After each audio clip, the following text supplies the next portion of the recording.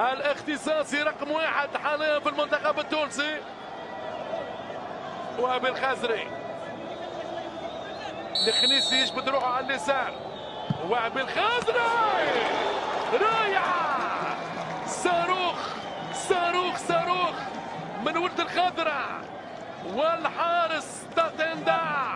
يخرج الكرة في الركنية.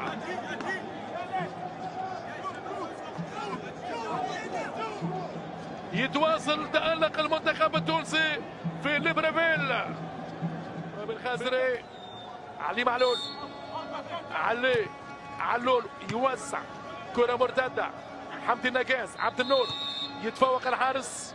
تتندع انكربع قلب دفاع فرنسا يرجع إلى مواقعه الدفاعية.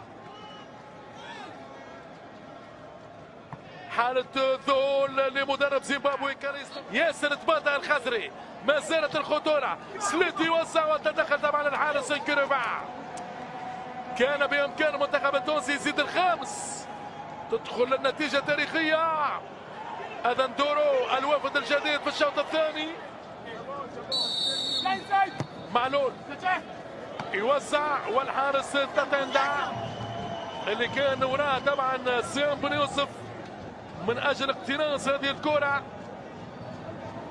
عودة سريعة لأيمن عبد النور وسيام بن يوسف في التمركز الدفاعي. بين اللاعبين. الرائع هذه المنظومة. وينو يوسف يوسف يوسف. وطلع ياسين ياسين! ياسين! جول! لا! أي أي غريبة وعجيبة هذه الكرة. الخنيسي يرتمي والقائم الأيمن يقول لا! والف لا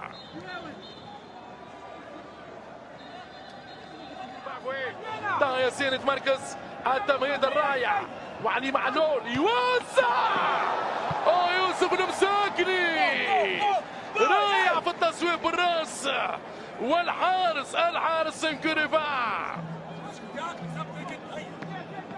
الهدف الخامس.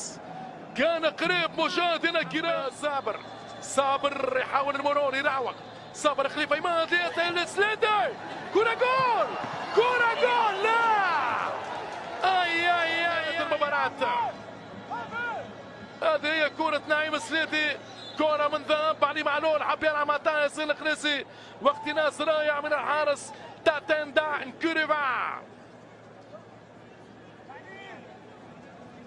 أقوى خطوط الهجوم في الدورة.